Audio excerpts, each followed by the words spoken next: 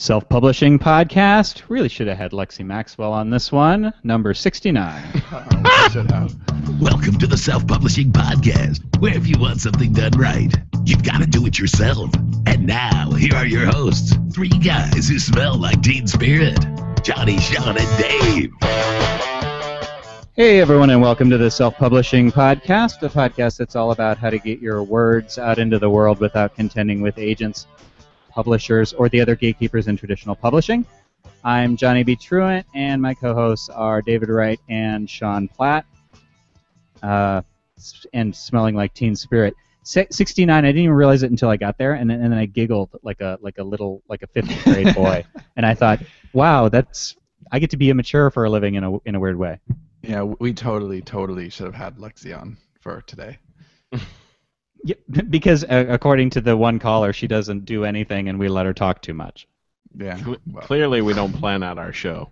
no, no, we don't. I, li- I like today's topic though. It's one of my favorite topics, so that's that'll be fun. How we get so much shit done. I'll bet it's not one of Dave's favorite topics. Dave hates the topic. you know what though? Dave's Dave's Dave's been kicking a lot of ass lately. So um, I'm glad you Uh, think so, because this week I got like nothing done. My son was home all week. yeah. I'm- Dave, I'm- in um, Yeah, but you in, did. our You handled. Um, no, I'm sorry. yeah, ahead. I got editing done. I just didn't get writing done. Yeah, in our but- story meeting yesterday, Sean said something. He said, "Dave has been so," um, and I said, uh, like I was waiting for the hammer on that. Like he's been so cunty or something. and he goes, he goes, I've never called So, Dave like, cunty. No, he hasn't. But I was, you know, like he complains about you I've on the show. I thought it'd be one of those things. So he said, um, I, it was like cheerful. I mean, it was an adjective you don't expect to follow Dave as being. I think I said or buoyant. optimistic or on board. Might have been buoyant, but buoyant I is think another. I said. I think I said kick ass. Boy, are you calling me a blimp? Yeah. Yes, I was. I, was. I think I he said- said sexy, and then he did one of these where he like licked his finger. David Zeppelin Wright. Um, I like uh, that. I, I would like um, no. D- Dave spent a lot of time this week going through edits, and I think this is a, a, a pretty quick thing we should brush on.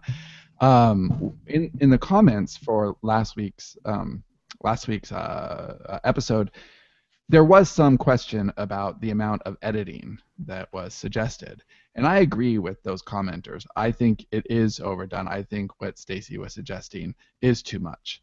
And I also think that there is something to be said for a strong voice and a weaker edit. And that may sound kind of weird to say, but I, I think it's what, what Johnny always is harping on. Um, for sure, for sure, for sure.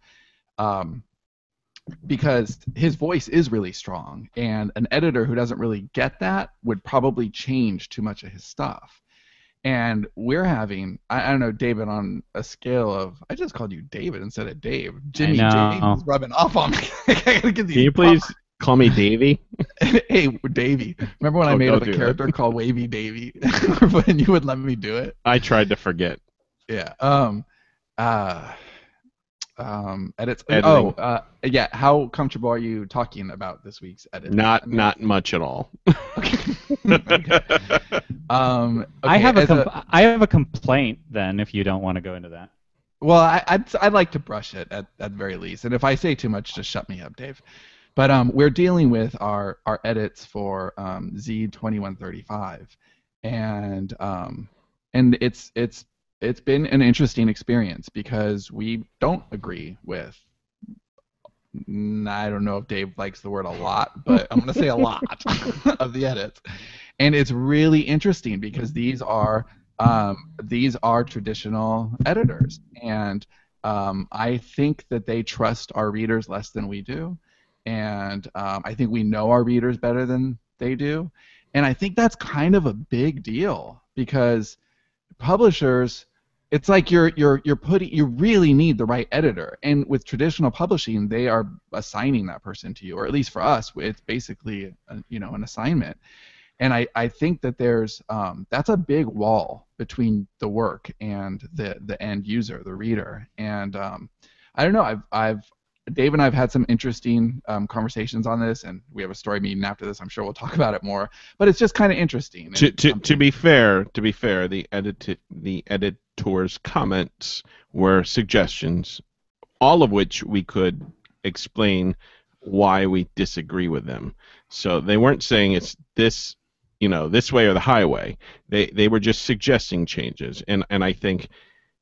I think perhaps the editor didn't understand the exact scope of the assignment, which is why they made some of the suggestions they did. So I believe this will be handled, though. I've had discussions and I've made sure I was clear in the comments, and I don't fault the editor at all because I think they were doing you know a specific job that they thought they were supposed to do.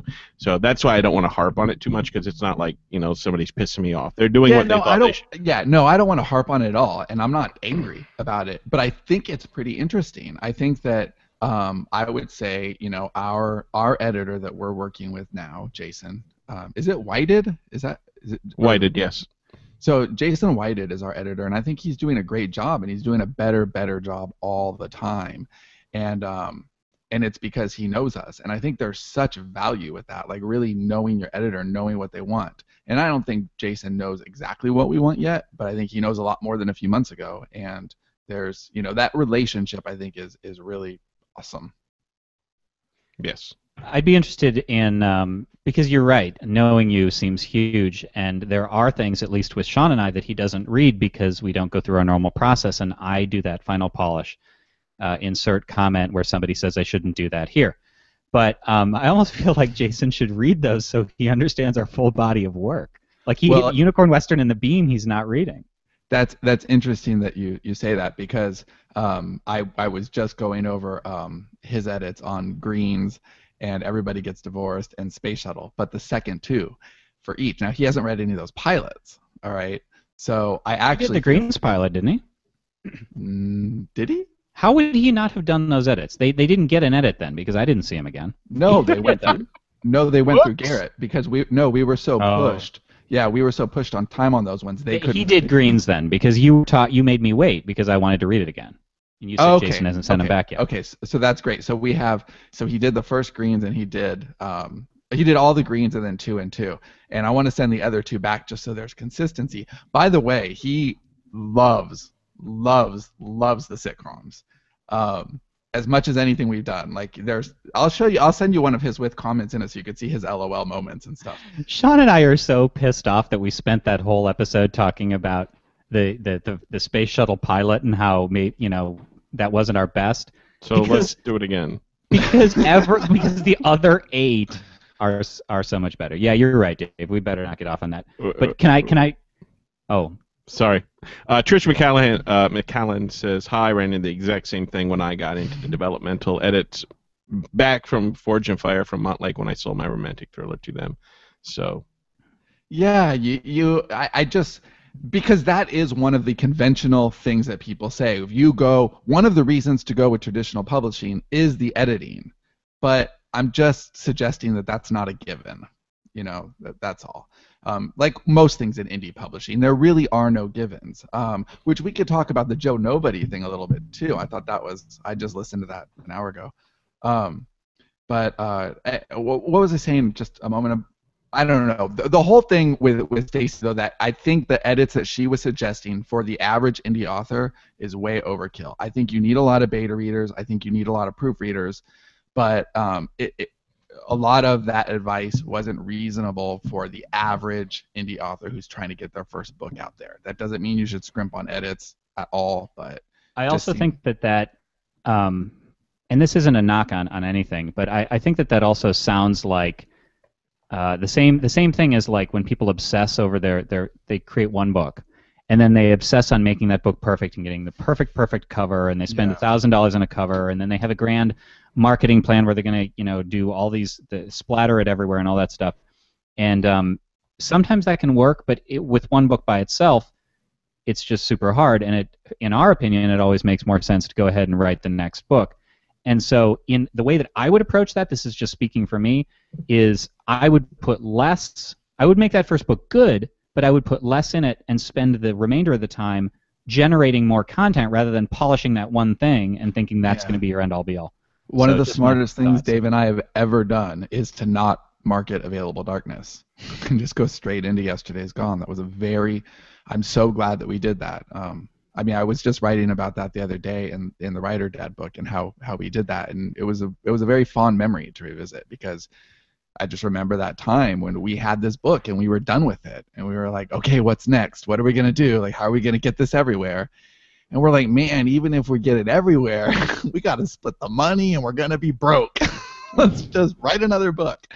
And I'm just so happy we did that. And if we hadn't done that, I mean, we wouldn't be doing this podcast because we were only promoting Yesterday's Gone in the funnel, which is why we did, you know, the your show, Johnny, and So- all of this started. So speaking of, of your writing, I, I since I I opened this box and I have to close it, even though it seems less relevant, is I want to complain about white space because you fucking assholes. Like there, there's it. We've all esta- we've established that that book opens with a school shooting. I'm halfway through episode one, so I'm a quarter of the way through the written white space material. There have been three incidents of children in jeopardy. You mean more than three one. total? See, I'm halfway through season one. So I'm through basically. I'm almost through three. Not even totally through three seasons. And there's been three. I mean, it's like Yeah, you haven't even got I to can the get why worst it's a trope now. Like, right? Like so. I thought I was safe to read this. Apparently You not. are. No. for Nevermore is your safest, and you haven't even got to the stuff yet because. But I next feel like for Nevermore is the stuff that you. I mean, I know you guys like it, but you don't. It's like White Space is your seminal work, and so I yeah, we feel love like White I. Space. Yeah, but I, I feel like I want to read it. Oh, you well, you should grow some Yeah. balls I, I am. I haven't stopped. I'm just pissed at you. I'm just saying. I don't like reading about children in jeopardy. I thought I'd gotten through it. No, Dave's keywords for season two was floating children. You know what it is? Is like, um, it, do, do, do you ever hear how the Trans Transformers Two movie is? Michael Bay said, "Bigger fucking robots." That was like the tagline for that movie. More fucking children in jeopardy. Was David right? Like that's that. You should put it right on the cover. a bigger basement. The funny thing is, I don't even think Bigger of White Space as basement. having that many children in jeopardy, but okay. Because Well, it's really so- not about that.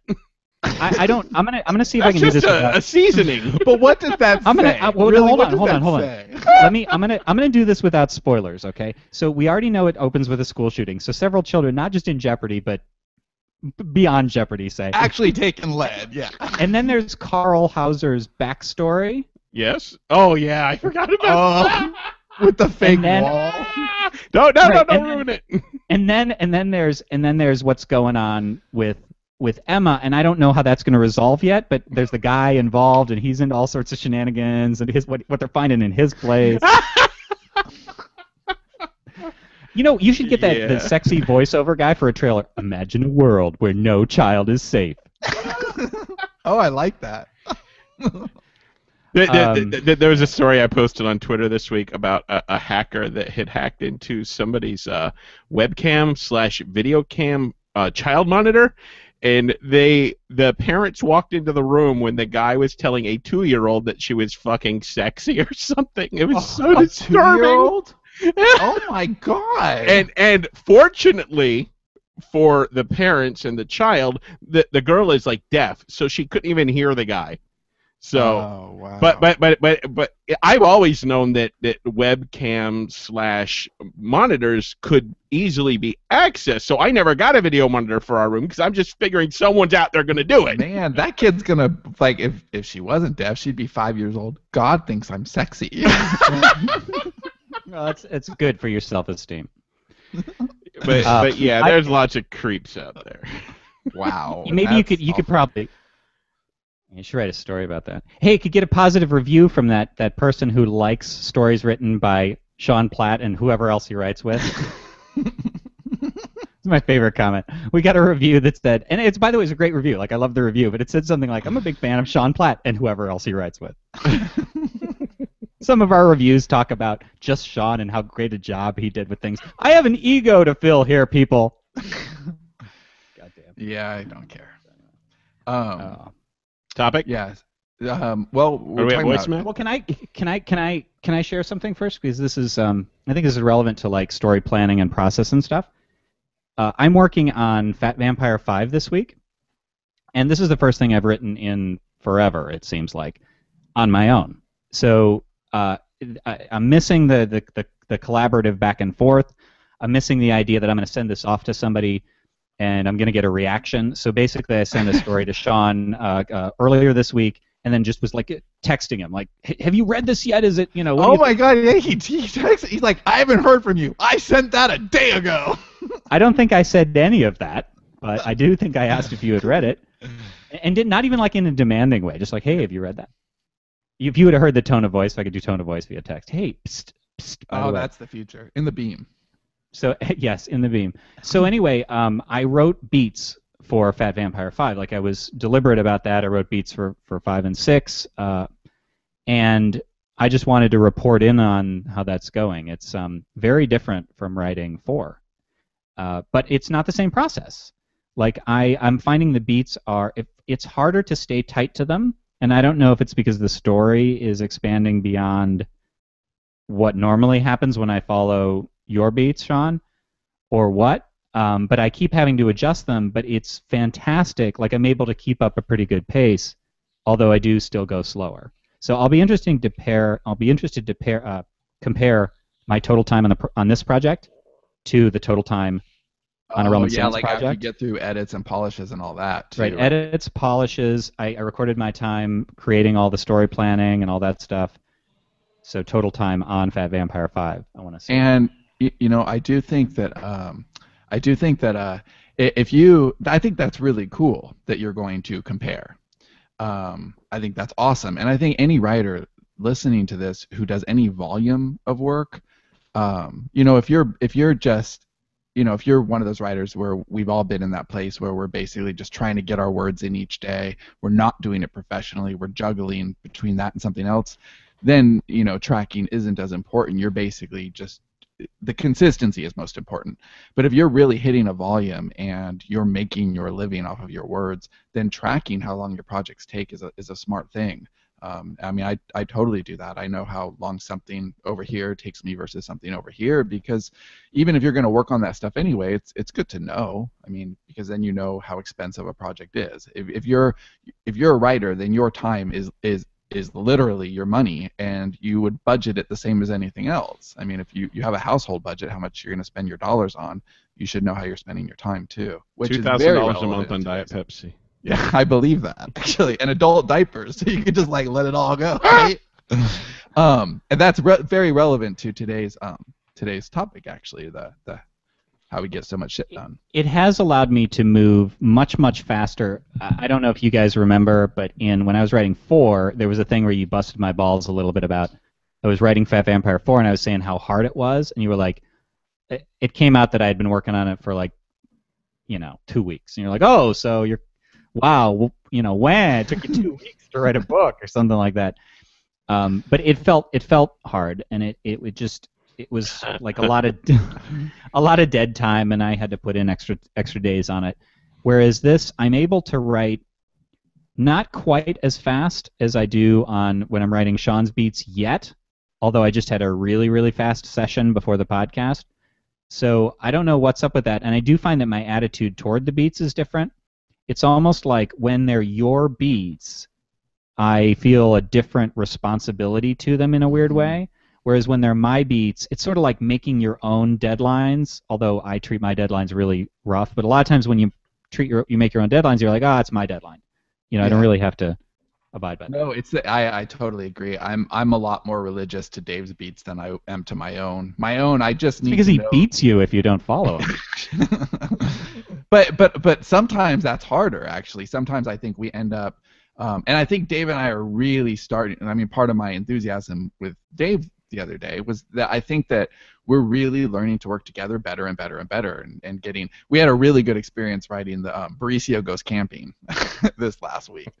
Uh, title. which was which was really really fun. Um, I was I was kind of bummed, a, a little bit bummed on Dave going into Friday because I I didn't want to write it in two days. I like more time with it than that, just to breathe. Um, and it didn't end up needing to be done that way because um, we're we're actually giving it to our readers this coming week. But um, but I thought it needed to be done by Tuesday, so I had to write it all on Saturday and Sunday, and it's 11,000 words. So I only had two days to do that on the weekend, which I I write less on the weekend and then one day to edit it and polish it. and that's just so accelerated for an 11,000 piece of work. Really, I had three days, and but it was it was fun. And Bariccio's like one of my favorite things to write. So like wow, like I didn't have to go to a real job like and work on the weekend. I had to write Baricio. So this is what I complain about. But um, but uh, uh, it was just a really good experience. I, I loved his beats, and I I think I varied from them more than I normally do. Um, but I think it gave us a, a, a pretty good product. And I was I'm always nervous when I'm sending something that large to Dave off cold. Um, like, oh, I, I hope he's not going to spend a lot of time on this and come back and be like, growl, like, oh, you wrote an action scene. Like, I told you no action scenes, you know. So, um, but he he loved it, and I really um, I enjoyed reading his comments back, and I thought our back and forth on that was great, and we got a great product in three days, and I love that. That's awesome. So let's get more general. Um, what what are all of your uh, you know how, how, do you plan it out? How do you plan out your day? Uh, I, I, I bought a book recently. Uh, Dave, are you moving into the topic just so I can frame my head here? Yes, I am. okay, yeah. so, so you did a the, great the, job on that. was all the, top, the, the, topic is um, how we get so much shit done. So can I let me read the um, let me read the what what what's prompted me on this because I think this really sets the tone and there may be others of you who are sort of feeling this way. So this is a comment um, from a, a, long time ago. I just uh, sort of saved it in my email because this was something that people had been asking about. It's um, it's from uh, David, who has uh, busted our balls and supported us both numerous times, and this was back in um, uh, May 17th. So it's been a while. Okay, so he says, "Man, poor guy." well, but but we've we've had a lot of guests and stuff. Countries have fallen in that time. I know. so he says he says uh, uh, this is a nuts and uh, it was from the anniversary show, and I think it was a reply to somebody else. This is a nuts and bolts topic I'd like to hear the guys talk about.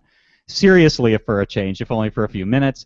From time, oh, this is where he busts their balls. From time to time, they start to discuss discuss the practical aspects, sp- specifics of their work habits and methods, but within half a sentence, somebody cracks a joke and they wander off on an unrelated tangent, which ultimately circles back to talking about how much stuff they've done without talking specifics about their methods or without providing practical pointers to aspiring writers, the intended audience for this show, about how to juggle multiple projects while completing vast quantities of clean publication quality copy. Okay, so he continues I mean, three new publications per week from the three of them, while building a backlog I believe Sean says in the episode they expect to be publishing at least three pieces per week. Among the three of them, I think it's more than that, and to be up to six months ahead by the end of the year.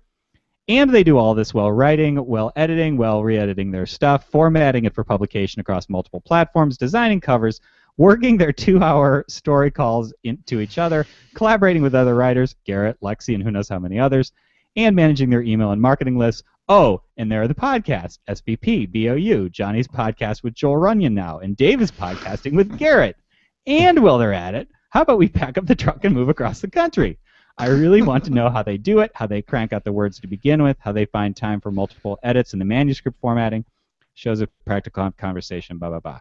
So, um, so that that's sort of the the, the frustrated, uh, good-naturedly frustrated. Uh, yeah, no, that's a great, great yeah. comment. That's a great comment. Um, it, we don't sleep big, and massive amounts of cocaine. It's a really big topic. Um, you know, I I've spent a lot of money on meth, and your teeth look beautiful. Why does it always have meth beats? I'm tired of these meth beats, Sean.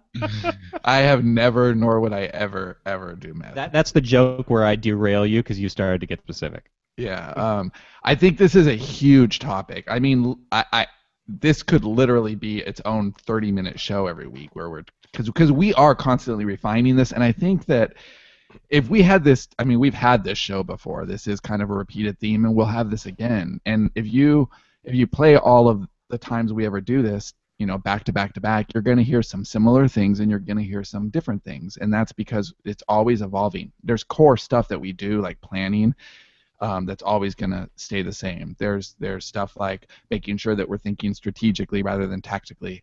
That's always going to stay the same. But as far as the real true specifics about um, you know how I'm handling my schedule, that really is different quarter to quarter. Um, I don't change every week or every month because that's really really dumb and unproductive. but at the end of each quarter, I, I evaluate, I take what's working, I take what's not, and I try to improve everything. So I really do. I mean, I think the most important thing in planning uh, or getting a lot done and just being productive is is proper planning. But second to that, and very very close behind, is the ability to adapt quickly to your plans and to make new and better ones. Um, that doesn't mean it doesn't mean wiping the board or you know shaking the etch a sketch and doing everything differently after you've already planned it, but it means, for example, and this is so so so not to beat up on Dave, but but but But- his- but yeah, well, it, because the biggest roadblocks I ever have in my schedule consistently are are put there by Dave, and you know that there's no animus there. It just it is what it is because Dave. I'm is an an- artist. yeah, Dave is an anti-planner. He just he really is. And um, we'll have something on the board for one day or whatever, and um, and and if I don't have it on that day, and I and I'm not able to adapt, it really really screws me up. Um, so I, I have to have basically Dave's the only one I work with. Well, now Garrett actually, who I have like contingency blocks. Like if no if if A then B. so um, and I gotta say, like, there's a lot of things I love working. Um, I love about working with Johnny, but but that the fact that if we plan something, that's a pretty solid goal block of time. It makes a lot of other things really easy and manageable. So I think having, um, I mean, I don't know. I feel like the mic should go to somebody else for a second, but uh, I mean, I could talk on and on About um, Dave. n- no, just about planning and all Dave, of this stuff. you you um and I thought about this because you guys were on the the Kobo Life Kobo Writing Life podcast, just the episode three, and uh, Mark asked you. By the way, Mark had this awesome like um mustache. mustache. he had like a Husker Du sort of a. You know, it's a handlebar thing. badass stash. It was pretty sweet. So um anyway, or Motorhead. Uh, so he asked you. He, yeah, that's exactly that's what that's what I meant when I said Husker Du. He's a Motorhead, Lemmy from Motorhead. So, but Mark asked you without the mustache uh, about productivity, and Dave I think answered first. So, and and I thought I was like Dave always busts on this topic. Like you're always like, oh, I don't do, I, you know, I don't do anything right. But you do produce massive amounts of word content. So, what are your what are the things that you do? Uh, pray. pray to my Lord and Savior. You do not pray. Do you just put in insane amounts of hours? Church. So like Yeah. maybe we're all getting the same amount done, but Sean and I feel productive because we're doing it in half the time that it would take you. Maybe that's what it is. Oh, Dave's mantra is work harder, not smarter. Always. it is. Like like the horse in Animal Farm. yeah, yeah, totally. Uh, I, I, I- I bought a, a book recently to try to. I, I, I'm always trying to like better a system. He Uh, is too. It's it's beautiful. He tries It's very so ironic. hard. It's very ironic. he does. It's not. I don't want anybody to think that he doesn't put effort into it because he puts so much effort into it, which is what makes me weepy. I'm like, man, the guy's working so hard. Johnny's gone. He left. He's I, done. I had to turn my fan on. I've had to do that. Uh, okay, th th there, there's two things. Well, there's a lot of things going on with me. Just two? Uh, part part of it is I'm trying. I'm trying to move my schedule more towards day than night. Uh, I, I I spent most of my life uh, as an insomniac, even in you know high school. I just I, I stay up. I can't go to sleep. And then I had a job uh, for my 20s. I was working most of the time at a gas station overnight. Yeah, that job ruined you for good. So yeah, and that's where I also got fat drinking soda all damn night. Um, but I had I've had day jobs since, and I've had jobs where I had to be up during the day, but I've I somehow managed, but that was like you know before we had a child and a child that like would stay up all night. So there's all these just different things that throw me off my schedule every time I get back on, and it's very difficult to manage because when I'm tired, it takes longer to do everything. So I'm trying to put myself in a position where you know I have energy and I can be creative at the right time. And it, it, it's very difficult, but I do need to be in the right mood to to work productively. Otherwise, you know, I just hate everything I'm doing. Yeah, that's a really, really, really good point. Um, as as as I um, replan each quarter, one of the things that I look at most is how effective I was at different times of the day, because it, I think really, um, really productive people know themselves very well. They know their habits. they know totally their- agree. yeah, they know their vices. Um, I know when I'm more likely to mess around. I know when I'm more likely to just get my crap done. Um, I know when I'm more likely to um, hear my children on the other side of the door and feel guilty, and um, and I don't like that. I don't like feeling guilty. so I, I try to really plan my time based around the realities of my world. Um, the biggest mistake I've made this year was before moving to Austin. I really stupidly thought, oh, I'll move. A couple days after, I'll back to normal my schedule. Yeah, um, I, I I don't know. Like sometimes I'm just an idiot. Have and you that- recaptured that time yet? um, no, I'm still I'm still a little bit behind, but um, but but I'm okay with it. I'm getting the stuff I the stuff that I'm behind on is like stupid admin stuff. I get behind on email, you know, like comments on the site, that kind of stuff. That's just stuff that has to be done, but I, I can't put in front of writing, um, writing, editing, polishing, all of the the production. I can't put it in front of production. But um, but I'm also very happy with the um, amount of family time I've had this summer. I'm really happy with the the move and us getting acclimated to a new city, um, and I'm really looking forward to. Um, I didn't have a lot of those guilty feelings. I allowed myself to feel more guilty about getting behind in work than about getting behind in home, and that, I'm really proud of myself for that because I haven't done that as much as I should have in the last five years, and um, I was better about it this summer. And um, Haley starts school on Monday, and Ethan the Monday after that, and I'm so excited. Like I love them dearly, but um, Get out of the house! yeah, Yeah, I my- wish I had that. We we homeschool. Yeah, no, I, I'm like, and I'm all I'm all plotted out. Um, and and I did do a rare thing where I normally don't adjust things, you know, in between quarters, but I've got a whole different schedule starting in two weeks, um, because they're going to school, and that significantly changes things. So so Carl Sinclair asked this gem right here. Anyone else ready to protest that they're totally ignoring all of our live comments? We're not getting. Carl, nobody has said anything worth calling out. Here, hold on. Let me let me hold, hold on. Let me let me put this My one in. comments haven't little bit. updated in like 10, 15 little- minutes. Okay, let's play this one. A little bit, Brad. I deleted it from my mind. Or what about this one? Comments are hosed for me today. Or is Sean still talking? I'm playing in Google Docs, so that's why. All right, so let me give let me give my let me give my answer uh, um, on this. And um, yeah, so uh, of course, because when other people are talking, I'm just making notes, waiting for my turn. That's the way I roll. so it's like, why can I just cut out the segments where it isn't me? Um, no, uh, I so I have a few here. So uh, Sean mentioned deadlines, and we've gotten a few people who have said, "What, uh, you know, why are you so worried about your deadlines? Because they're your deadlines, and of course you can be flexible with them." Yeah, I can, but if I set a deadline, I'm going to hit that deadline. So I, I uh, said something to Sean, like he said, "Do you want some extra days on whatever?" And I said, "I," he said, "I said, bitch, I don't miss deadlines." Sean said he wanted to have a shirt made, and if you have that attitude, then you then you do get it done. So I know that if You I end up say shipping a lot more at the end of the year. That's just fact. I have on my calendar here, I want to have Fat Vampire 5 and 6, the rough drafts of both, and that finishes the series, done by the 28th of August. Because on the 29th, I'm going away for five days. And that's going to be tight.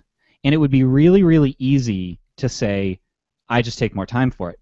But no, that's the deadline, and I am going to seemingly arbitrarily honor that deadline because I get more stuff done. Now, I've learned what I can reasonably uh, predict. So Sean mentioned a plan, and I have right on my desk here. Um, I'll show you this month's. Um, so this is um, this is August. Well, hold on, that one's not fixed. Well, whatever. So, I, but I have, I have a, you know. Okay, so that was that was a good segment. Should I do that again? That was awesome. It's- Can you do that again? it's every single day I have exactly what, what I'm doing, and um, but this one is is kind of in flux. But I have those through the end of December, so I know what I'm going to be doing writing each and every day through the end of December, and it's it's tight. Cue Sean joke, where um, where we had to squeeze things in and make things fit just so just so like a jigsaw puzzle. And every time I move a day and move a deadline then it's it fucks up Sean's entire plan for like all the verticals that he's working on. And so I I'm gonna hit those but now I know exactly how many properties I'm gonna produce during the course of the year. So I think that's important. And I- um go ahead Dave.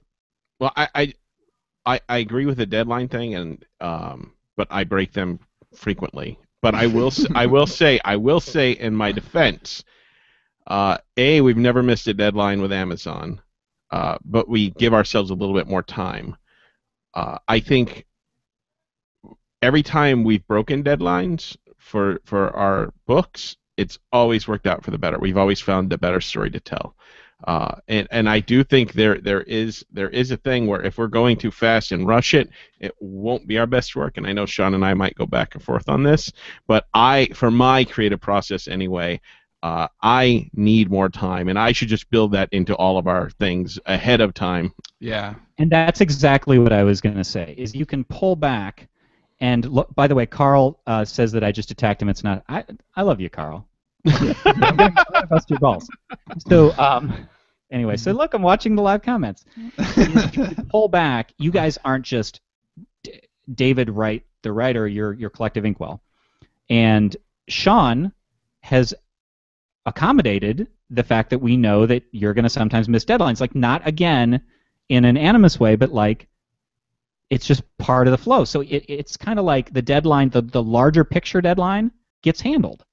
The when missing Right. deadlines are a problem is when it fucks everything up. But you right, and time in. and Dave and I have already solved that problem this year, which is which is great. We we've gone off of the weekly thing, and so we're really at a position now where we just get to say, okay, what's next, and how long will this take us, and build that flex time in. So if we think a project will take a month, then we you know seven weeks out is our is our publishing date, and We have a breaking important comment that I have to put up here.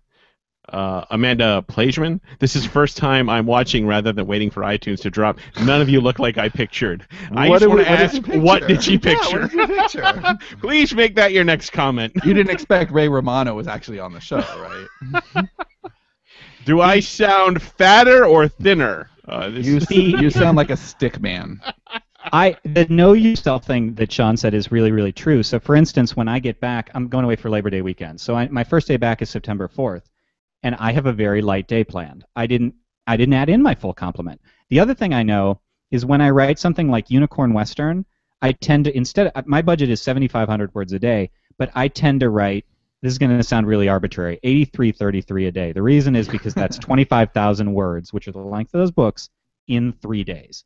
So I've learned that I can do that, but I've also learned to down. I, I only plan for 7,500 because there are other projects where I don't go as fast, or there I'll inevitably miss a day, or I'll have a bad day. So I create a schedule that I can. You, and it takes me. That's four and a half hours of my day is producing that content. So I don't know. I, I get I get weirded out in these kinds of conversations the same way I used to when you know blogging, where you know it's like ten ways to have better like work habits, and I feel Yes. like w- what works for me doesn't necessarily work. You know, it's like it, it, All right, let like- me come to your rescue here, Sean. Because rather than us doing 10 ways, let me give you a post that you guys can read, and that'll cover a lot of my specific things. oh uh, that's cool. selfpublishingpodcast.com slash productivity. It's a link to a guest post that I wrote on Joel Runyon's blog called, how, Dave will probably like the title because he likes my titles, How to Do So Many Diverse and Awesome Things That People Will Want to Punch You in the Face. that's awesome. And it is Um, like a 10 tips sort of a thing. yeah that that that that's cool um I, I think knowing yourself is really really really important um it's and and knowing who you're working with too if you're you know if you're if you're collaborators so like I actually I only care about missed deadlines when it affects other stuff. I understand that that's part of the relationship with Dave, and that's totally fine. So, like most of our conflict comes not from a missed deadline, but it's from a I'll say something like, "Dude, whenever this is due, there's no wrong answer. Like, tell me six months from now, I'll put it down. And he's like, no, we're gonna make it this time. Because because he's he. I know you guys don't realize this, but he actually is optimistic about many things, including how much he can get done Self-delusional in- is the in- word.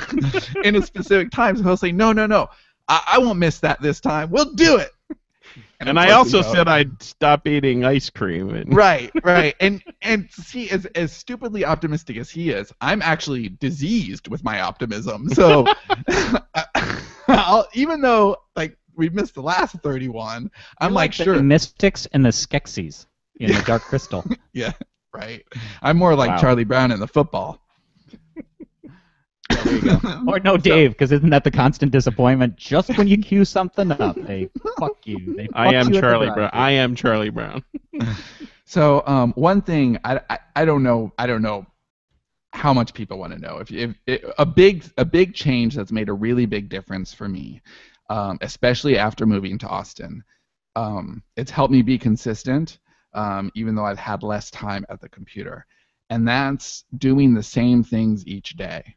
So um, even as as far, I mean, just in May when I was living in Ohio, I still did did a system where each day I would just take like the next thing in a queue, if this makes sense. So let's say I would spend one day and I had a lot of beats I had to write, and so I would spend all day, you know, taking care of those and outlining. And then the next day would just be all writing, and maybe I'd put out 15,000 words in that day and just be exhausted and done with writing and not write again for a week. Same with editing, polishing, anything else. And I don't do that anymore. I, I and the reason I like to do that before is because I would like to finish one thing um, before moving on to the next. So if I'm working on the Bricio story, I just want to be done with the Bricio and you know take it off and put it you know pass it off to Dave before I move on to something else. And I really hated having multiple things going on because I felt like I'd get more confused, I'd make more mistakes, I'd go slower. And after looking at the data, my my preconceptions are wrong. I actually get more done and I'm able to compartmentalize. So each day I have allotted, I spend this amount of time writing, I spend this amount of time editing, polishing, whatever, and and I just hit those. And if I'm, yeah, so it takes me longer to write something because you know I don't necessarily hammer it out in a in a two day period, except for Bricio, but um. But I'm consistent. So I've written, you know, I've written at least 3,000 words every day um, for almost 60 days. I started with um, Z, um, and that was on June 21st, and I haven't missed a writing day ever. And I know it seems like I write a lot, uh, but I've actually never. ha- This is the first time since I started writing five years ago that I've written more than 30 days in a row, and um, I have no intention of stopping. Like it feels really good. Like I like I love getting those writing words in every day. Same with editing and polishing. But the difference is that I used to have to complete something. So I would spend days not editing. I would spend days not polishing or not writing. And now I'm spending a little time each day doing each thing. And I find that I'm getting faster and better at those things. And I think it's the consistency. I really think it's just going to the gym every day. The here's some. The, I want to do a comments update, and this time I'm not going to um, be a dick about it. So, um, all right. So the first one is uh, the first relevant one is this one. Oh, I'm sorry. The one saying I want Johnny's abs isn't the one I wanted. The um, it was actually the, the okay. So now I can't actually find it. Okay, so Carl they asked, all "What do deleted. you?" They all got struck through. I don't know what happened. I was Oh, looking mine at live mine are not. comments and they all got struck through, so I don't see anything. Mine are not new. struck through, so I can Wow. do this. Um, okay, so Carl asked, "What do you use as your planner?" Uh, it depends on what you mean by planner. Um, in terms of uh, my some of my productivity tools are this. Now, hold on, let me get rid of this question. How do I how do I do this? Uh, okay, Hit it again. so, Hit the eye so next to it again. this little cheap Target. Uh, Can't uh, see you. here. You can't see me? How can you No. not see me? I No, see the comments on. Comments. Hit the Oh. eye next to it again. What the hell? I did hit the eye next to it. Hold on. Hit the eye next to another. Okay. You're there on. we go. Okay. All right, Well, now I'm no, turning now- it off. Okay, hold on. Oh, it's off. Can you see me now? See, this is No. why we don't deal No. with comments. No.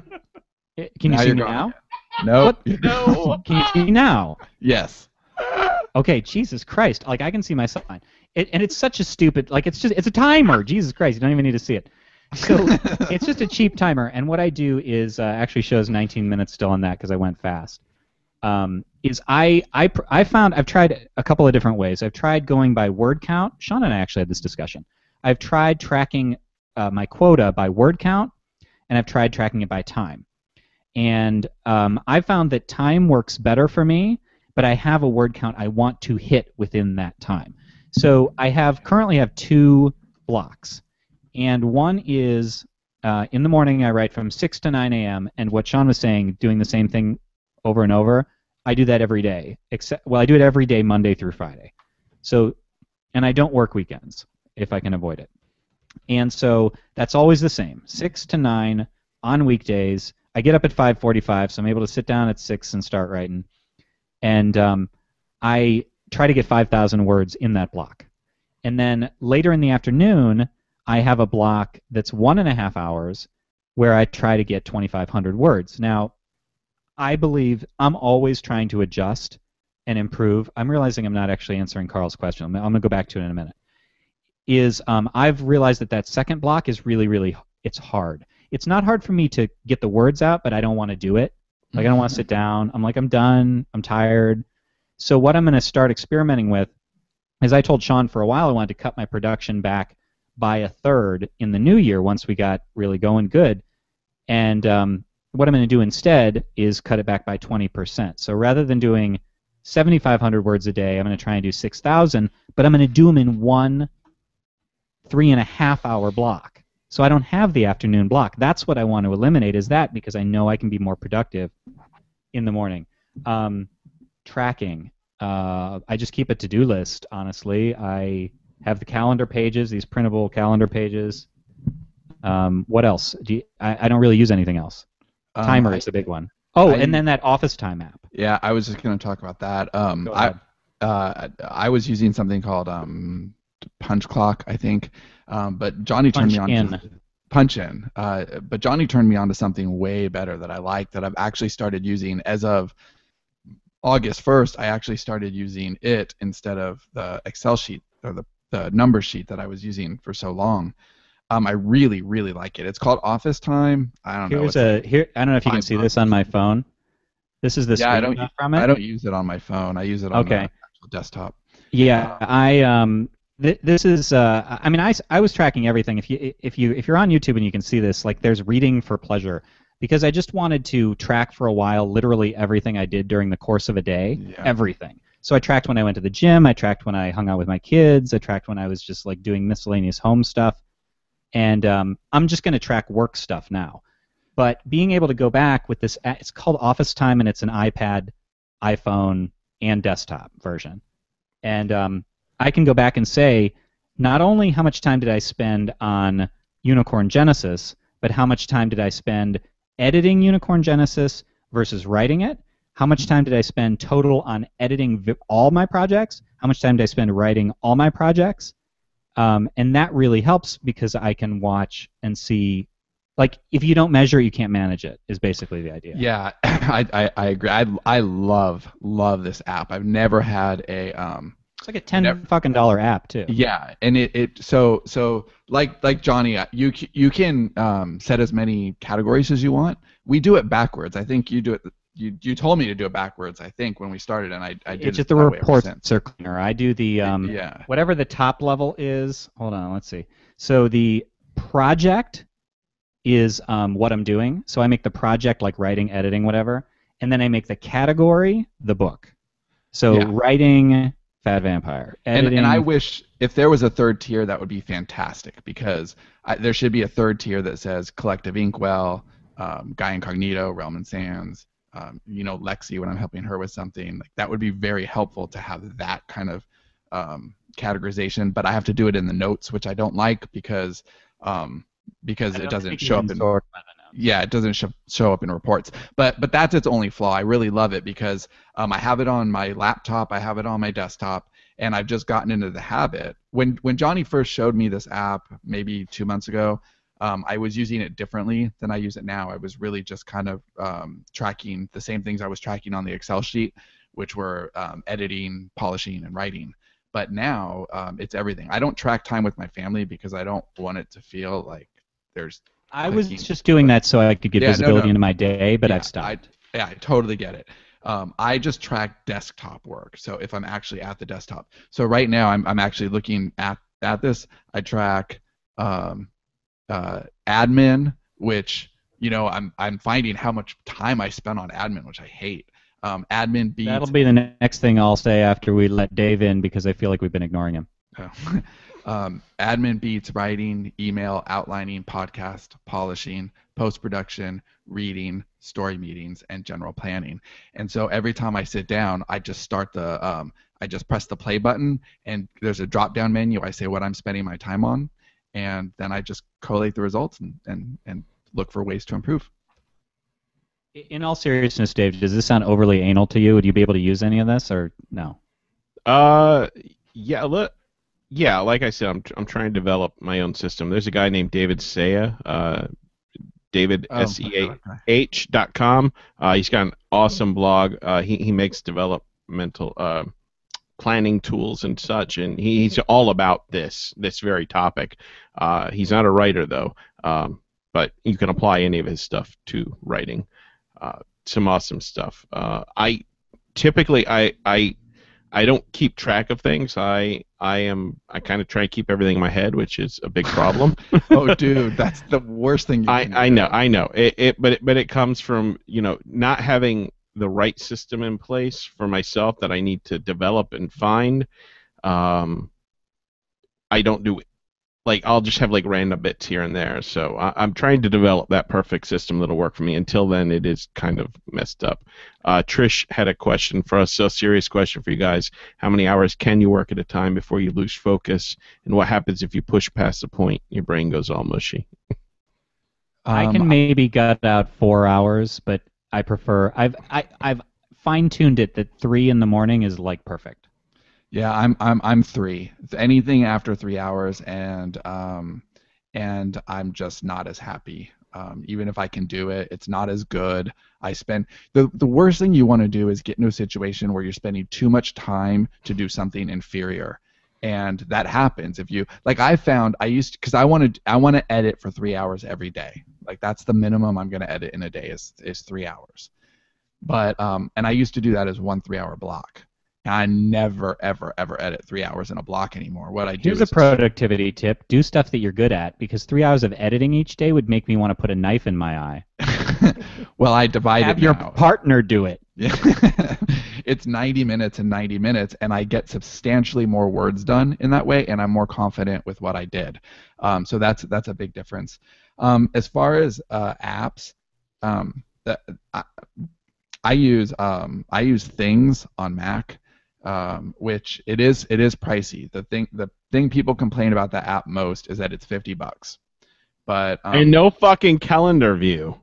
But I don't need a calendar view in it, and I need to. I'm visual. I need to see. like You mean I- like I- it would show you what you're doing during certain It doesn't have any calendar option at all. That's Yeah. what I wish this had. I want a visual indication of I spent this visually this much time on Mhm. this, and that's what I want. but but things isn't for that. It's just a repository for shit. A I lot of people have asked for it to have that, so there's no reason it should. I, mean, I could go on an hour for I- this. yeah, I agree, Maybe but that's that's, up your so butt. irrelevant to anything. so what things does, and and and yes, fifty dollars is a lot of money. However, calendar. Yeah, but however, I bought this, I don't three or four years ago when I had no money. But fifty dollars is nothing to something that helps you do so much more. And and back then I was doing a lot of ghostwriting gigs for very little money, and it helped me organize things. And so I think the opposite of of Dave's system is the worst in the world. I'm keeping it all in my head. Okay. You can't keep shit in your head and i don't care how smart you are like your your brain because if you're keeping stuff here then you're you're not you only have so much ram. You are a computer. So if you're using ram to just kind of keep this stuff hovering you can't and and consider I have OCD, so I have a whole 40% of my brain partitioned to stupid shit that repeats in a yeah constant you're, loop. you're like you're like that you're like safari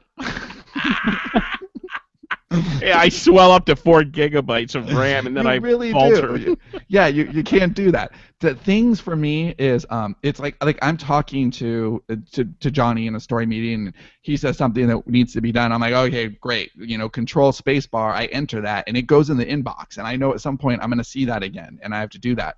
I can also set recurring tasks. So my editing, polishing, writing, like those are all recurring tasks every day. So as silly as it is, I check those off each day. And it's kind of a sense of completion and okay, like, you know, I, then I, I look in the morning and I can see what is waiting for me. And it's not like, See, oh, I, I do that in my calendar. That's interesting. yeah. But Dave, it- maybe that would work for you. Block out like this is the time when I write visually on the calendar. I like to look at my Mm-hmm. Mhm. calendar. what I've done for the this this next starting when the children are back, um, uh, everything's in blocks. So I just have this master um, calendar where it's like editing block, writing block, whatever, and then there's flex blocks. So um, you know if if something when he comes goes like this. up- um, I hate that you flex Flexing, and sorry. actually have muscles, you fucker. Show off.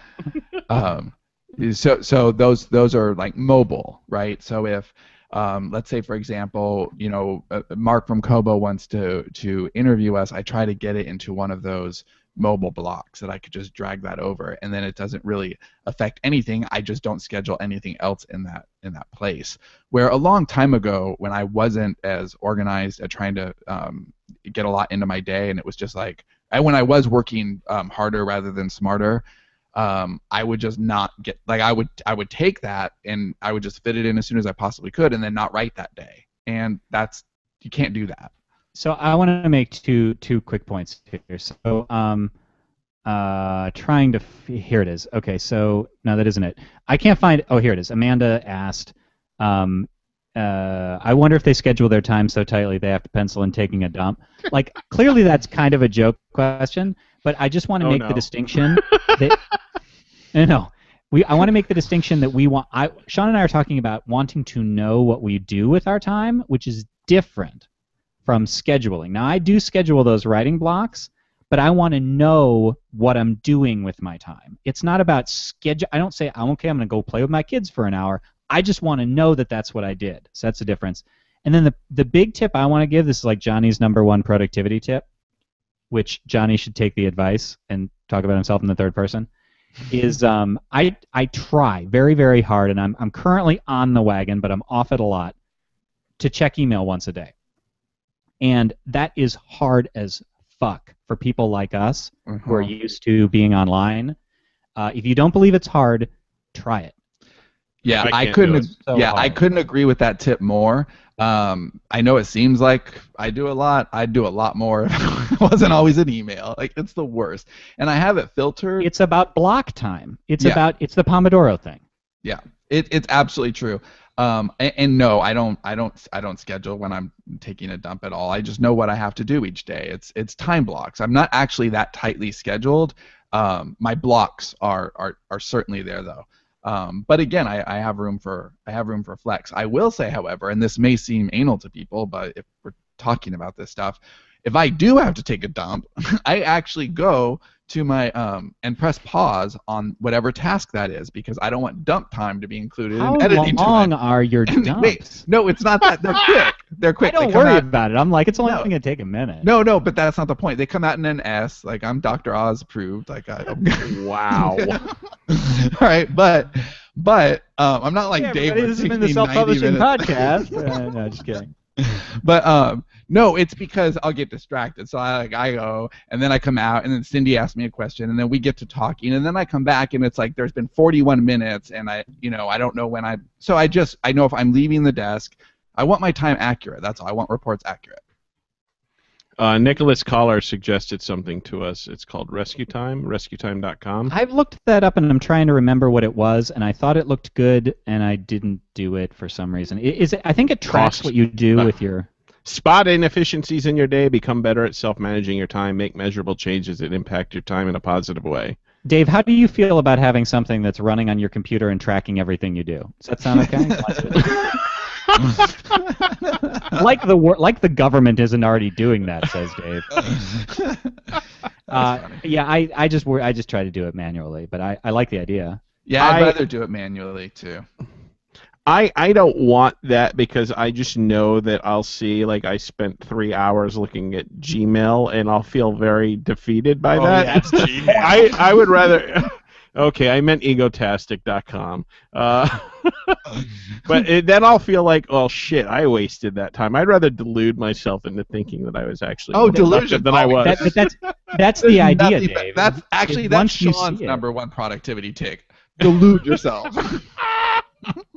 I beat myself up enough. I don't want to hate myself even. Yeah, you are well, the I king of suppose it depends on your type of personality, but I, I am I want to constantly do things better. It's just it's just how I'm wired. So if I see that I'm spending a way more time on email than I thought, I, I'm going to try to figure out ways to, to fix that.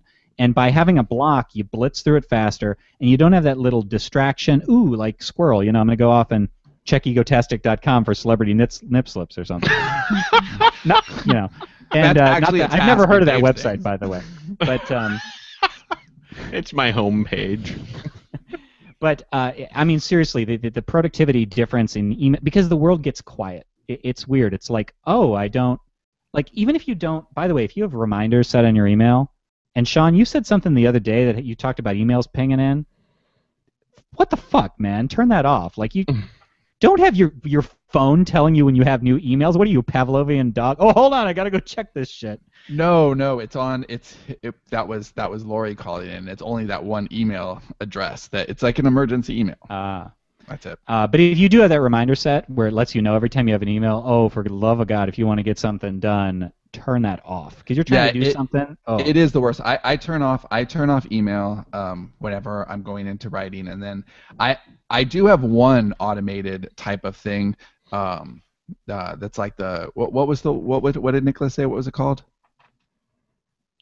What- rescue what? time. Rescue time. Yeah. Um, I, I have one tool like that. It's like that I- Adventure Time. uh, I have one tool like that that I use called um, uh, SaneBox, and it's four ninety five a month, and it it all my emails go there first, and then it's basically trained, um, so that I actually handle email in two separate blocks. I handle it um, with basically it, it it's a priority system for sure, um, which I'm sure could be manually done, but I've never been very good at prioritizing my email like that.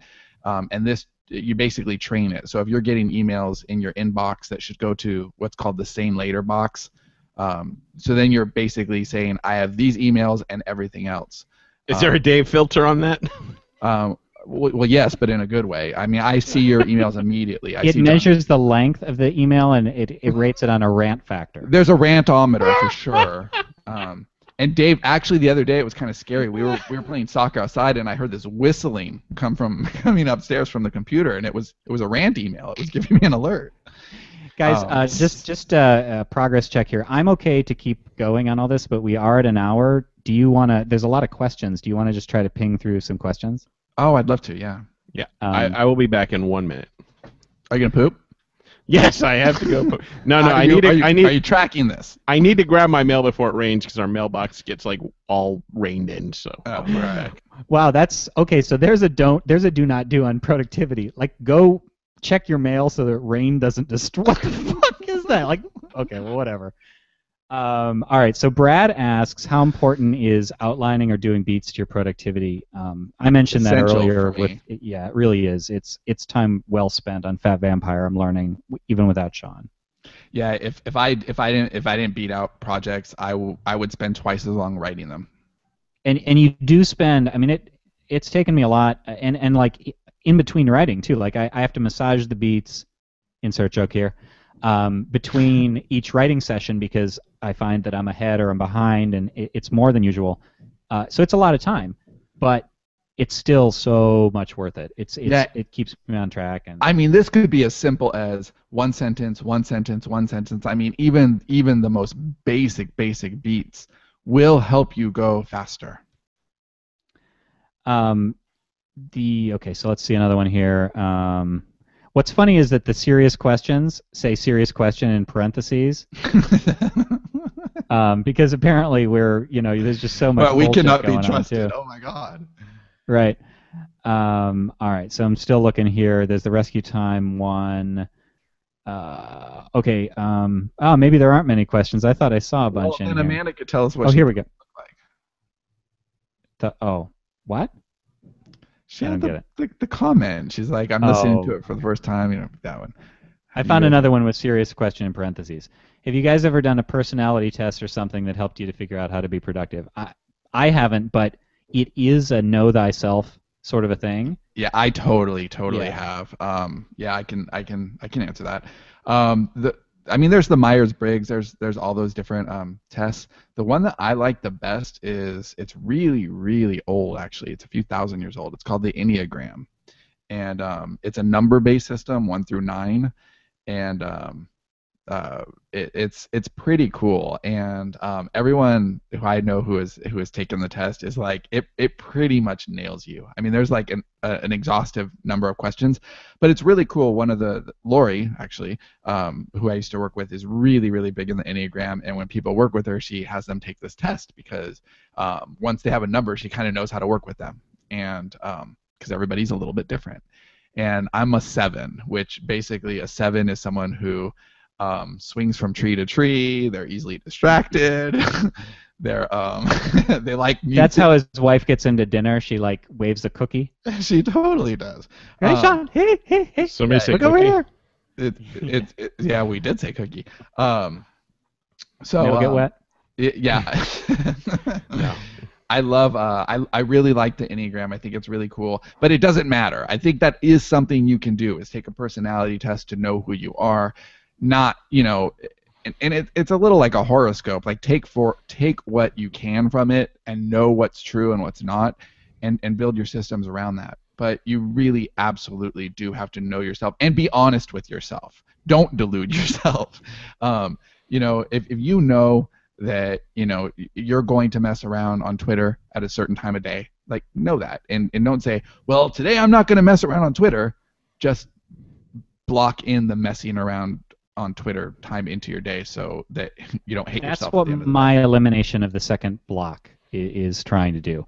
It's it's sort of it's part of it's a quality of life issue, and part of it is, I mean, I can take, so I I, I can generate six thousand words in, and I've I've done this because I track, like I, I keep I record. I'm like, how many words did I do today in three hours? I figure out my per hour, so I know that on average, some days it'll be more, some days it'll be less. I can do six thousand words in three and a half hours. So but that's I've added a half hour to that morning block, which compared to three hours, like I don't even notice that. It's like who cares? I'm there for three hours. What's three and a half? And I get to eliminate my entire PM block and still only lose 20% of my words productivity.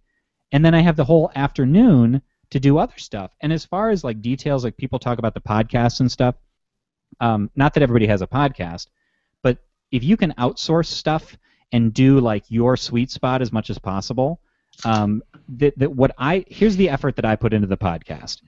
I, I had to get it set up, but once it's set up, we sit down, we I open the Google Hangout, I, I hit record, we talk, and then when I'm done, I pull the little card out of my computer, a little SD card out of out of my recorder. I put it in, I like run it through a program, and I put it in Dropbox. That's it. And then my assistant Natalie does all the rest. So the time that goes into a one-hour SPP episode is maybe one hour and five minutes.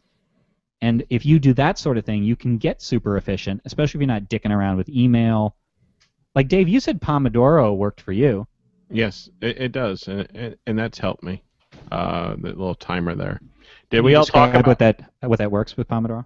Uh, the. Pomodoro timer, uh, basically, uh, the one I have anyway, you you, you click uh, the little icon and it starts, and you can set it for how long you want to go eh, before you'll stop yourself. So I set it at either 20 or 40 minutes, depending uh, on how much I really feel like writing at the moment, um, how into it I will be. Uh, if if I'm less into it, I'll set it for 20. Then I know, okay, I can you know, do something else. I could check my mail or whatever, and then I'll get back into it. But the break is also time, so the break is like five minutes as well. That's how I use it anyway. Uh, typically, though, I do 40 minutes at a time. Then I get up and do something, and then come back uh, after a five minute break, and it's worked the, really well. The key idea is you work really. You will focus on one thing. Yeah, and, and it does it, it does help me because I need sort of that external thing saying, no, you have to do this right now, uh, because I can't trust myself not to get ADD and just go off and all of a sudden, you know, I'll do research for a story. That's one thing that really led down a ra- rabbit hole is uh, like I do a lot of research for our You do more stories. Yeah, I, I'll, I'll I'll do research, and then suddenly I'm like 15 websites removed from the one I started on, and I'm like, oh, this is awesome, this is awesome, and I'm just like, all of a sudden, like an hour and a half has gone by, and that really screwed me up a lot in the past. So now I push that off, and I make a note to myself, I got to research this, and then I make separate time for that. Um, so It yeah, reminded me of another carrot and stick thing, t- or another personality thing too. Is you mentioned um, you have to, you know, like you know, you have to get something done. I, I, and I, Sean too. I'm pretty sure. Like we're we're carrot driven. Derek, Dave, are you driven by a carrot? I'm driven by a cookie, a giant A cookie. cookie and a stick. So the carrot and the stick. I actually obviously- for for for for, for a uh, uh, what do you call it? A column I did on on myself trying to lose weight. I drew myself running with a cookie hanging from a stick over my head. I that should be our new uh, avatar on the show. The um, if you're if you're carrot driven, then you want to look for incentives. So um, and ironically, I think Sean and I both consider a, meeting a deadline, which sounds like a, a stick thing, to be the cookie. Like That is the wow, I get to yeah. meet a deadline. Yeah, no, I'm I'm like I go to if I if I hit all the deadlines, I really do go to bed happy. I feel like okay, that's great. Like I So, so a quick example is at maybe um, uh, a deadline where Sean is going to beat Dave, as if that was possible, could um, could be an effective, like maybe that would be a good way to motivate Dave. But for me, as a quick example, um, before the podcast, I got back from the gym and I'm, I'm all gross and sweaty, and I have ex- literally an hour and a half before the show starts, and, and I'm disgusting, and I need a shower, but I wanted to get in an hour and a half of writing. I, I just needed to do it. So I there's a little thing in Scrivener where you can watch your word counts, and I, I made a deal with myself. I said the hour and a half block is supposed to be 2,500 words. If I can hit 2,500 words, then I don't care about how long it takes. I won't keep going to the full. how hour long did it take? It took an hour and ten That's fantastic. because that worked for me. I was able to watch this little thing that in Scrivener where you can reset it, and I just wa- I kept looking over there Yeah, and I used that all the watching time. it tick up. yeah, so we're all trying to trick our brains.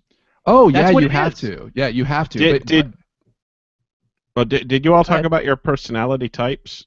Did have you all been Uh, tested? I don't know mine. well, we, yeah, we were talking about the Enneagram. Um, that, that's the only one I know of my personally offhand, and I'm I'm a seven. Mine is INTJ, which is the the scientist, which is kind of ironic. I wonder what mine Uh, is. I but no but idea. when when under a great deal of stress, the INTJ may become obsessed with mindless, repetitive, uh, sensate activities such as over drinking.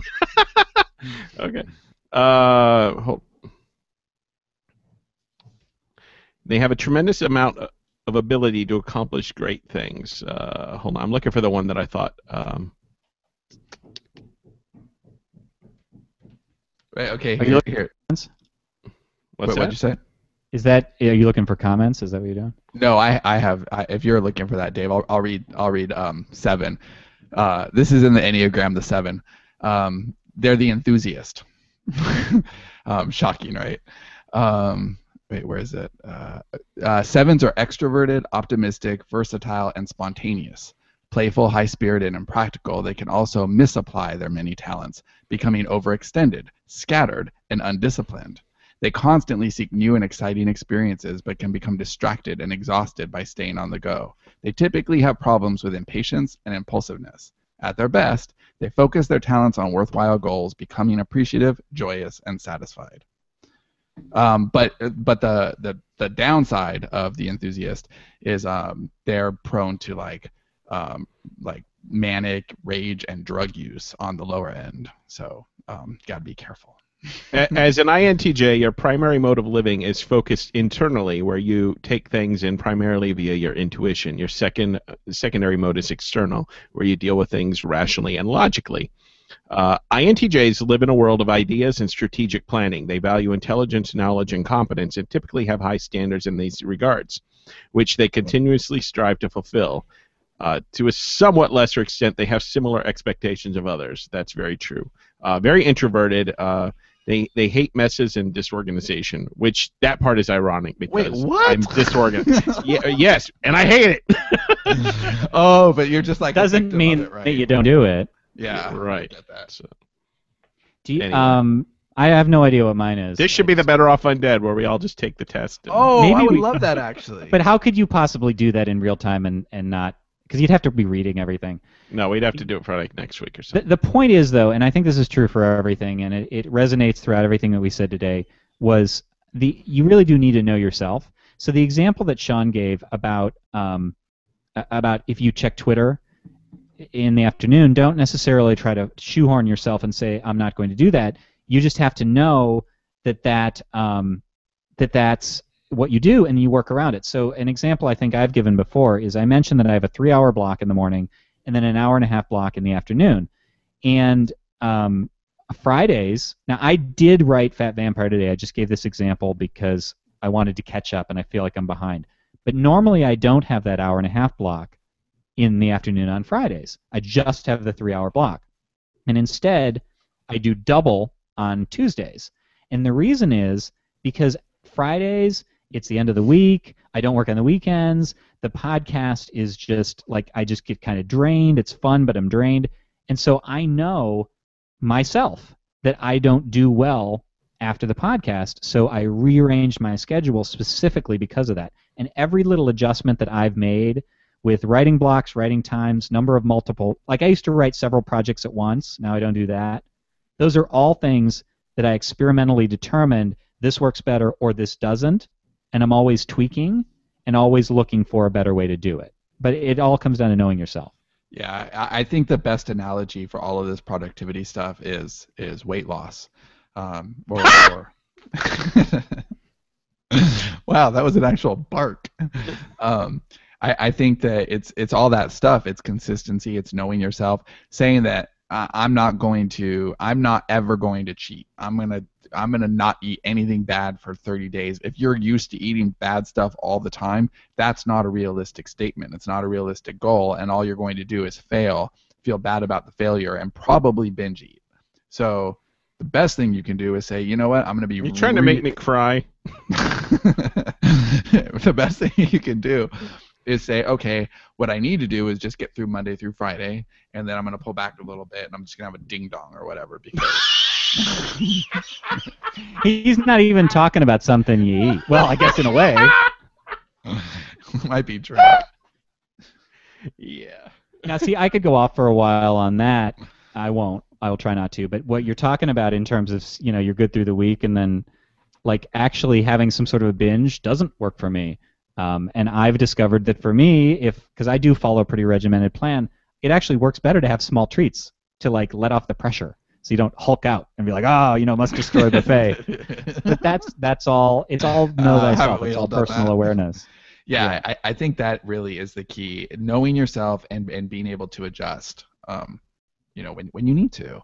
Um, Well, what, I, I always say, you know, if if you're gonna pick up prostitutes and murder them, uh, d- it, it, it's hard not to.